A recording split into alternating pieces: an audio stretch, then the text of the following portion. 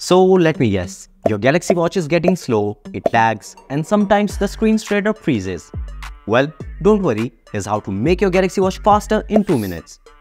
First, if you have lots of apps open in the background, then close them. It will free up RAM space and make your watch faster. Since Galaxy Watch has Play Store support, you might have installed numerous applications on it. Well, delete the unnecessary ones to free up some more storage space. Check if there's any pending software update available for your Galaxy Watch and install it if there is.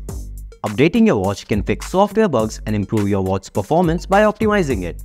Try force rebooting your Galaxy Watch. Sometimes restarting or rebooting your Galaxy Watch can get rid of any software glitch that might be responsible for the slower performance. Next up, change the animation scale, but before that, you'll have to enable developer mode. First go to watch settings, open about watch and select software information and tap on software version 5 times to enable developer mode. Now, go back to settings and open developer options.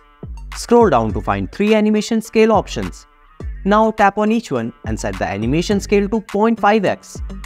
This will speed up the animation and make your watch faster. If you frequently open website links on your watch or just frequently browse the internet on it, then you need to clear your browser's cache data. You can do that by going to Settings, Apps, App List. There you can select the browser and tap on Clear Cache. You can also do the same for other apps that you use on your Galaxy Watch that require internet access. If you have any animated watch face or watch face with lots of complication, then try switching to a simpler static watch face without any complication. This will reduce the software load on your Galaxy Watch and free up RAM space.